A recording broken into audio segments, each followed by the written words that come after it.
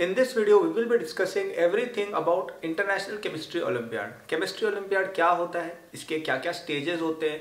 किस तरह से इसकी तैयारी करनी है? ये सारी डिस्कशन इस एक वीडियो में आपको मिल जाएगी।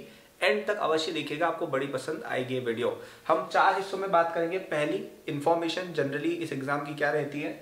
दूसरा कितने स्टेजेस और क्या क्या स्टेजेस होते हैं? तीसरा प्रिपरेशन कैसे करनी है? और चौथा सबसे इंपॉर्टेंट सवाल क्या आपको आईसीएचओ की तैयारी करनी चाहिए?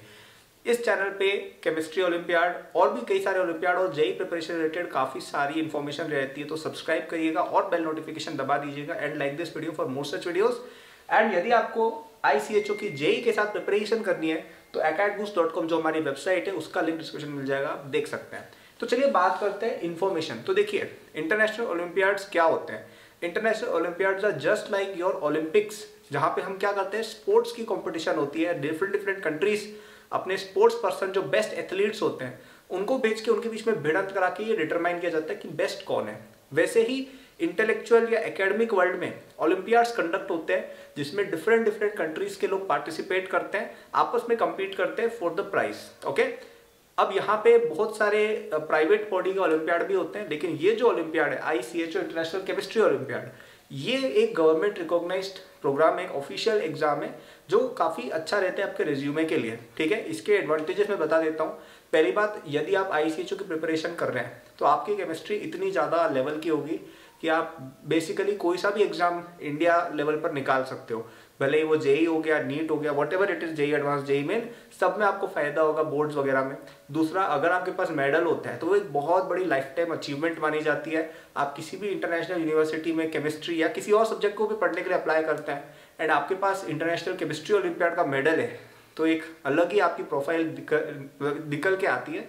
And you are more likely to get admission and even if you don't go to the international level यदि आप उसकी प्रिपरेशन भी करते हो और स्टेज वन क्लियर कर लेते हैं स्टेज टू क्लियर कर लेते हैं, उनके भी काफ़ी सारे एडवांटेजेस होते हैं।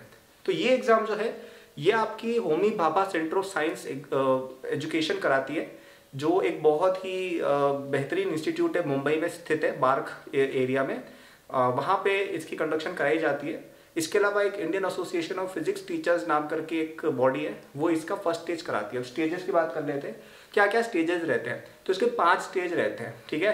अब इन स्टेजेस के नाम देखो, बदलते रहते हैं, हम उस पर ध्यान नहीं देंगे। स्टेजेस क्या क्या है? तो पहला होता है एन जिसको पहले क्या कहते हैं? अब उसको कहते हैं आई ओ क्यू एम ठीक है? Indian olympiad I O Q C Indian olympiad qualifier for chemistry तो इसमें आपके क्वेश्चन रहते हैं ऑब्जेक्टिव टाइप आपको सॉल्व करने रहते हैं। और अगर आपका उनमें अच्छा स्कोर आता है तो आप सेकंड स्टेज के लिए सेलेक्ट हो जाते हैं। तो यहाँ पे मेरिट लिस्ट निकलती है, लगभग 300 स्टूडेंट्स नेक्स्ट लेवल के लिए सेलेक्ट होते हैं, ठीक है?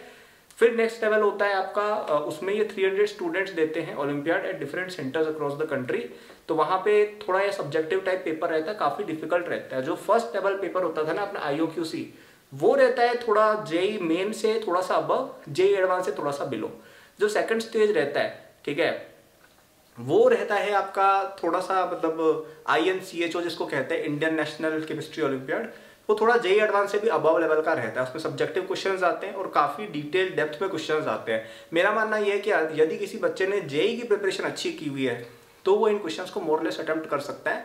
But you need some you know knowledge of the olympiad as well फिर यहाँ पे जो बच्चे एग्ज़ाम क्लियर करते हैं उनमें से 35 बच्चों को लगभग uh, एक ओलंपियाड कैंप में इन्वाइट किया जाता है मुंबई में ओके okay? मैं दो बार क्वालिफाई किया हुआ हूँ उस कैंप के लिए फॉर सम अदर ओलंपियाड तीन तीन बार। एक इंटरनेशनल एस्ट्रोनॉमी ओलंपियाड सीनियर एक जूनियर साइंस ओलंपियाड और एक जूनियर एस्ट्रोनॉमी ओलंपियाड इन तीनों के कैंप के लिए मैंने क्वालिफाई किया हुआ है। केमिस्ट्री uh, का तो मैंने हालाँकि नहीं अटेंड किया था क्योंकि मैं एस्ट्रोनॉमी वाले के लिए सिलेक्ट हो गया था उसमें मेरे ज़्यादा नंबर थे तो मैं वहाँ उसको प्रेफरेंस दी थी।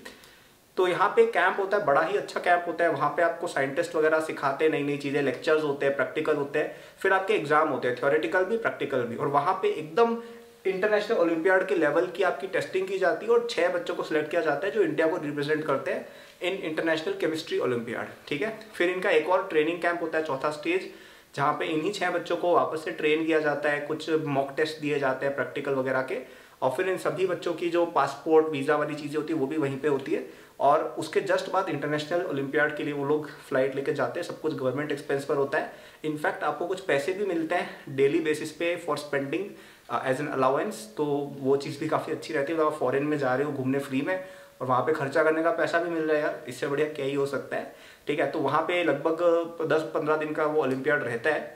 उस इंटरनेशनल कंट्री जहाँ पे भी हो रहा है, जैसे फॉर एग्जांपल ऑस्ट्रेलिया में हो रहा है तो वहाँ पे पंद्रह दिन आप रहते हो कंप्लीट करते हो एग्ज़ाम्स होते हैं, फिर लास्ट में सेरेमनी होती है जिसमें आपको अवार्ड दिया जाता है। लगभग 50 परसेंट लोगों को कोई ना कोई मेडल मिल जाता है। टॉप 10-15 परसेंट लोगों को गोल्ड मिलता है, फिर सिल्वर फिर ब्रॉन्ज इस तरह का रहता है। फिर उसकी बहुत ही शानदार आफ्टर पार्टी भी रहती है, ठीक है? तो ये मैंने काफ़ी इन्फॉर्मेशन और स्टेजेस के बारे में बता दिया है। अब प्रिपरेशन कैसे करनी है, ठीक है? तो मेरा देखो पर्सनली मानना ये है कि ज़्यादातर बच्चों को ना केमिस्ट्री ओलम्पियाड की या फिजिक्स ओलंपियाड की ना करके जेई की प्रिपरेशन पे ध्यान देना चाहिए। इसका कारण ये है, क्योंकि देखो इवेंचुअली इलेवन ट्वेल्थ में हमारा जो एम रहता है, वो ये रहता है यार कि हम जेई क्लियर करके एक अच्छी आईआईटी में एडमिशन ले, क्योंकि उससे हमारा करियर बिल्ड होता है। ये ओलम्पियाड वगैरह जो है, वो ज़्यादातर बच्चों के लिए एक साइड हॉबी होती है, ठीक है? तो मेरा मानना ये कि आप बहुत ही अच्छे से अपनी जेई प्रिपरेशन कर लीजिए। इससे क्या होगा? आप फिजिक्स ओलंपियाड के लिए भी प्रिपेयर हो जाओगे, आप केमिस्ट्री ओलंपियाड के लिए भी प्रिपेयर हो जाओगे, आप एस्ट्रोनॉमी ओलंपियाड के लिए भी प्रिपेयर हो जाएगा मोस्ट इंपॉर्टेंटली आपका जेई प्रिपरेशन भी बहुत अच्छा हो जाएगा। अब आपको किसी सब्जेक्ट में स्पेशल इंटरेस्ट है लेट्स आपको केमिस्ट्री में बड़ा इंटरेस्ट है तो आप क्या करेंगे? आप केमिस्ट्री थोड़ी सी ज़्यादा पढ़ लेंगे, ठीक है? इसकी कई सारी बुक्स आती है। तो सबसे पहला तो मेरा जो सजेशन रहता है कि आप जेई कई बहुत अच्छे से बुक्स पढ़िए, और फिर I C H O I N C H O इनके प्रीवियस ईयर क्वेश्चन आप कर लीजिए नेट से ढूंढ के। उससे क्या फ़ायदा? क्योंकि नेट पे विद सॉल्यूशन आपको इनकी बुकलेट्स भी आती है ऑफिशियल एच की, उनको आप उनकी वेबसाइट से ऑर्डर कर सकते हैं। तो उनमें क्या है कि आपको विद सॉल्यूशन पूरा पेपर ही मिल जाता है। तो इससे बढ़िया क्या हो सकता है? तो विथ योर जेई प्रिपरेशन अगर आप इंटरनेशनल ओलंपियाड के पेपर सॉल्व करते हो आई थिंक इससे बढ़िया प्रिपरेशन कोई हो ही नहीं सकती है। मैंने एक गलती ये की थी अपनी ओलंपियाड जर्नी में कि मैं बुक्स पे बहुत ज़्यादा फोकस करता था। कि मैं कोई फॉरनर था कि बुक्स वगैरह हो गई एटकिंस हो गई जेडीली हो गई या इस तरह की कोई जेरी मार्च हो गई। दिस काइंड ऑफ़ बुक्स मैं पढ़ा करता था, जो बहुत मोटी होती थी, बहुत टाइम कंज्यूमिंग होती थी। जबकि जो नॉलेज चाहिए होता है ना आईसीएचओ के लिए, वो 99 परसेंट आपका जेई प्रेप के अंदर कंटेंट है।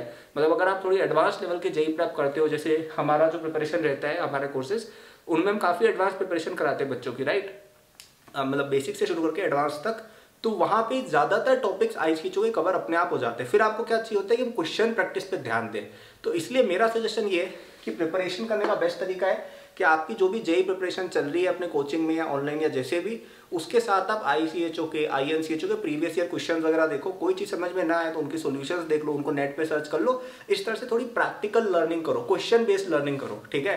आप बहुत ज़्यादा थ्योरी में जाओगे ना तो उससे आई थिंक इतना फ़ायदा नहीं होता जितना क्वेश्चन पे ध्यान देके होता है। आप यूँ कर सकते हो ना, जैसे आई में कई सारी चीज़ें ऐसी आती है जो इलेवन ट्वेल्थ में शायद ना भी हो तो उन पर्टिकुलर टॉपिक्स को आप अलग से पढ़ लीजिए या कोई क्वेश्चन आपसे नहीं बना लेट से टू के आई सी एच ओ का।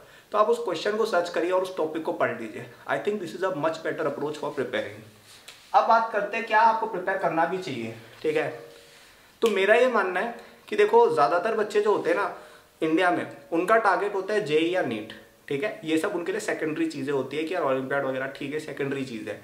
तो अगर आप इस अप्रोच के साथ चल रहे हो तो आई डोंट थिंक ये सवाल उठता भी है। आपको अपनी जेई प्रिपरेशन करनी है और आप तीनों चार ओलंपियाड दे दो, फिजिक्स भी दे दो, एस्ट्रोनॉमी भी दे दो, केमिस्ट्री भी दे दो। आपके जिसमें सबसे अच्छे नंबर आ रहे हैं, आप जिसमें सेलेक्ट हुए, उसके लिए आपको टाइम मिलता है, आप उसके लिए स्पेसिफिकली तैयारी कर सकते हो। ठीक है? अब आप अगर ऐसे बच्चे हो कि, यार आपको तो बिल्कुल ही सपना ही बना हुआ है कि हमें तो आई ही करना है, ठीक है? तो मेरे हिसाब से यार आई डोंट थिंक इतना कोई रिस्क है आई सी एच की प्रिपरेशन करने में, क्योंकि it's very similar to your JEE NEET तो अगर आप आई सी की प्रिपरेशन करते हो and you do not succeed क्योंकि देखो थोड़ा डिफ़िकल्ट है तो एटलीस्ट आपको अपने जेई नीट जो आपका बैकअप ऑप्शन शायद हो सकता है उसके लिए आपको काफ़ी हेल्प मिल जाएगी ठीक है? तो the reason I recommend people to prepare for this exam is क्योंकि इसमें कोई डाउन साइड नहीं है। अगर आपने आई सी की इंटरनेशनल लेवल में प्रिपरेशन कर दी है तो it is very similar to the level of JEE advanced ठीक है? या नीट भी कह सकते हो। तो in that case it will help you with your JEE या नीट की प्रिपरेशन ऑल्सो यहाँ पे मुझे जेई या नीट लिखना चाहिए यार क्योंकि हमारे तो नीट के भी कोर्सेज हैं ठीक है? एनीवे anyway, तो आई डोंट थिंक इसकी प्रिपरेशन करने में कोई बुराई है। आपको इसकी प्रिपरेशन डेफिनेटली करनी चाहिए, लेकिन बुराई कब हो जाएगी? जब आप केमिस्ट्री के चक्कर में बाकी सब चीज़ें भूल जाओगे। Because see when you're a teenager हम कई बार छोटी छोटी चीज़ें के लिए एक्साइट हो जाते हैं, ठीक है? हम किसी एग्ज़ाम को लेके एकदम ऑब्सेस हो जाते हैं जो गलत होता है। मैं भी होता था। मैं भी जब छोटा था, मैं ऑब्सेस हो जाता था कि यार ये वाला एग्ज़ाम नहीं किया तो मेरा तो कोई मतलब ही नहीं है, ठीक है? और उस ऑब्सेशन के चक्कर में हम बड़ी पिक्चर कई बार भूल जाते हैं, ठीक है? आपको अगर इवन एक रिसर्चर भी बनना है तो you don't need to clear an olympiad what you need is a good college good faculties अब वो हमें कई बार मिलती है आई आईसर एग्जामिनेशन के थ्रू जेई एग्जामिनेशन के थ्रू है ना? तो उसमें अगर आप प्रिपरेशन उसमें अगर आप अच्छा परफॉर्म नहीं करोगे तो आपका वो सपना रह जाएगा और न तो आप आईसीएच कर पाओगे, ना वो कर पाओगे। तो इसलिए ऐसा नहीं होना चाहिए कि आप केमिस्ट्री के चक्कर में बाकी सब चीज़ें भूल गए। You should study all subjects equally and अगर आपको केमिस्ट्री पे ज़्यादा इंटरेस्ट है तो आप आई के लिए 10-15 परसेंट एक्स्ट्रा टाइम निकाल सकते हो। But don't ignore other subject don't ignore your boards don't ignore your physics don't ignore your mathematics and और biology and most importantly don't ignore to enjoy your life as well as a student तो I hope ये video आपको informative लगी हो। मैंने चारों points cover कर दिए। अगर कोई और क्वेरी हो आप कमेंट सेक्शन में पूछ सकते हैं, मैं उसको बिल्कुल बताऊँगा, या फिर आप मुझे मेरे इंस्टाग्राम अकाउंट पे फॉलो करके वहाँ भी क्वेरी पूछ सकते हैं डिस्क्रिप्शन में लिंक मिल जाएगा। अगर आपको अपनी जे नीट प्रिपरेशन करनी है एंड विथ दैट आपको आई सी लेवल का भी तैयारी करना है तो बेस्ट रिसोर्स तो मैं कहूँगा, आप हमारे ऑनलाइन कोर्स में एनरोल हो सकते हैं, जिसका लिंक डिस्क्रिप्शन में मिल जाएगा। ये इंडिया के some of the most affordable and quality courses है, ठीक है? या तो आपको कोर्सेज इससे सस्ते मिलेंगे तो वो क्वालिटी नहीं होंगे, या अगर मिल जाएँगे, बहुत ज़्यादा इससे हाई क्वालिटी वैसे मिलने नहीं है तो वो बहुत ही ज़्यादा ऐसा होगा कि कोई वन टू वन ट्यूटरिंग चल रही है, किसी बहुत बड़े प्रोफेसर का, वो एक अलग चीज़ हो जाती है। Otherwise this is the best quality course you can get for your JEE preparation और इसमें आपकी सारी ओलम्पियाड प्रिपरेशन भी हो जाएगी।